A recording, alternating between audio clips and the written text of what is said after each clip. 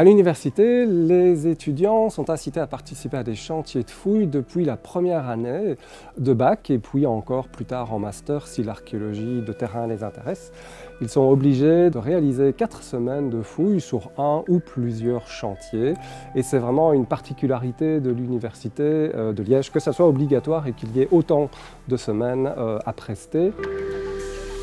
On est à la grotte du Trou à l'ouest, donc située à Modave, euh, qui est une, euh, grotte euh, qui recèle des occupations paléolithiques préhistoriques en général. On a longtemps cru que la grotte ne recélait plus de sédiments en place et grâce un peu à la persévérance de, certains de nos collègues ces dernières années, on s'est rendu compte qu'il y avait en effet des dépôts pléistocènes bien préservés sur plusieurs mètres d'épaisseur et sur une zone assez large. Et donc ça, c'est assez rare en effet d'avoir accès euh, à ce type de site euh, aujourd'hui en Belgique parce qu'il n'en reste pas euh, beaucoup. Ici, donc, on participe à un chantier de fouilles euh, de deux semaines euh, sur le site euh, d'Einaton, sur un site gallo-romain. Ici, sur mon secteur, on essaie de trouver donc, les limites de la structure du bâtiment, de dégager le mur. C'est l'Office du tourisme qui a invité l'Université de Liège à réaliser des fouilles dans cette forêt. C'est un site qui a révélé peu de mobilier archéologique, mais les quelques céramiques qu'on a retrouvées peuvent être datées de la fin du IIe siècle ou du début du IIIe siècle après Jésus-Christ. Et donc on accueille des étudiants pour qu'ils apprennent à la fois les rudiments du travail manuel, la manipulation des outils, et puis l'enregistrement, c'est-à-dire la description des vestiges à l'écrit, et puis des relevés graphiques, c'est-à-dire des dessins, des coupes et des plans. J'ai toujours été passionné vraiment euh, d'histoire, et euh, l'archéologie, c'est vraiment mettre un peu la main euh, à la pâte. C'est vraiment approcher l'histoire que je trouve concrètement.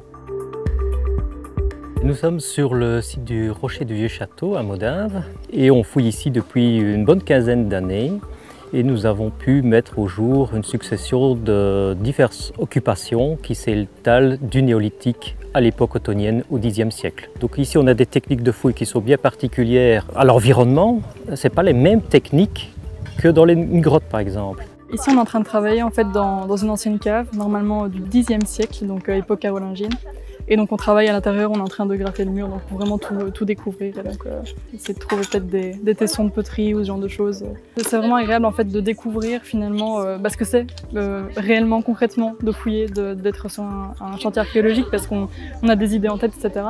Et donc en plus on travaille ensemble et ça c'est bien. Et donc, et donc voilà, c'est vraiment, on découvre en fait le matériel, on apprend vraiment à travailler avec ses mains et donc c'est ça qui est important en fait finalement. Il arrive qu'on puisse faire des découvertes tout à fait étonnantes. Euh, dans les années 90, par exemple, à la grotte de Sclin, c'est une mandibule d'enfant néandertalien qui a été découverte lors des fouilles auxquelles les étudiants participaient. Et cet été, au trou à l'ouest, dans des niveaux du début du paléolithique supérieur, c'est un petit morceau d'os encoché, intentionnellement encoché, qui a été découvert et qui peut être une partie d'un objet décoré, on ne sait pas encore. Les chantiers sur lesquels les étudiants interviennent sont aussi des sites de recherche archéologique où des professionnels travaillent, des vrais sites de recherche. Qu'il s'agisse de préhistoire ou de périodes historiques plus récentes, les étudiants participent vraiment à la recherche. Ils peuvent intervenir dans le traitement postérieur à la fouille qui se déroule en général à l'université. Et là, des professionnels, des archéologues étudient les objets. Parfois, quelques objets sont envoyés en dehors de l'université lorsque euh, d'autres compétences que les nôtres sont requises.